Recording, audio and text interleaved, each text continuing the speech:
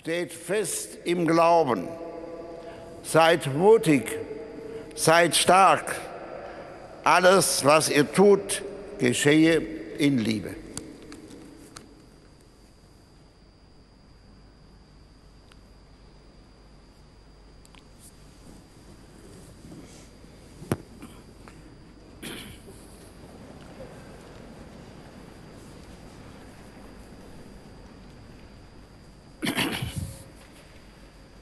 Der Herr sei mit euch. Und mit. Der Name des Herrn sei gepriesen. Unsere Hilfe ist im Namen des Herrn. Ich segne euch und alle, die uns anvertraut sind der allmächtige und barmherzige Gott, der Vater und der Sohn und der Heilige Geist. Amen. Geht hin in Frieden, Halleluja, Halleluja.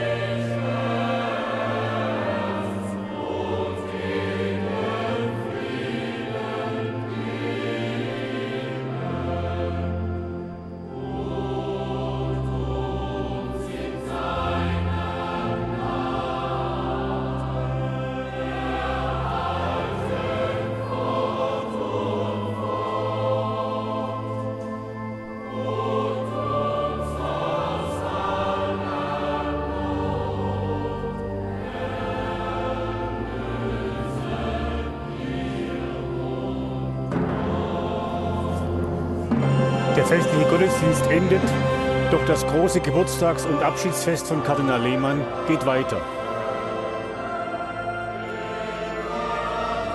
Für die Zuschauer im SWR-Fernsehen gibt es nun weitere Impressionen und Informationen zum großen Fest und den anschließenden Festakt aus der Rheingoldhalle in Mainz. Feiern Sie mit! Ich wünsche Ihnen einen schönen, einen gesegneten Pfingstmontag.